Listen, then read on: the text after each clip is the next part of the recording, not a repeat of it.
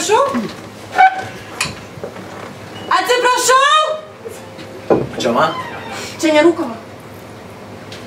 Man atrodo, ponia, jūs kažko nesupratote. Čia kaip tik nėra nerūkoma. Čia va kaip tik šitoj vietoj yra rūkoma. Čia rūkoma zona.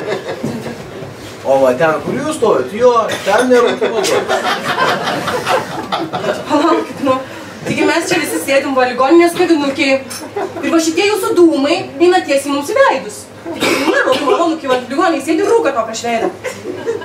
Šliklūna kalas. Nu aš tampu. Normaliai? Dūmai, žinot, jie yra... Jie nemok skaityti.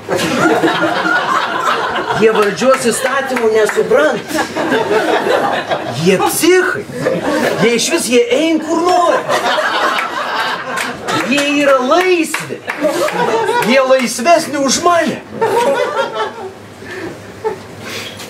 Kažkaip neatrodo man čia labai jokinga. Čia yra nerūkoma. Ir man tie dūmai visai nepatinka. Va. Iškart reikėjo ten per kilometrą nuo tų dūmų. Visa problema gi ne dūmai. Problema yra bendra. Čia yra toje, kad šiais laikais mes visi esam totaliai vieniši.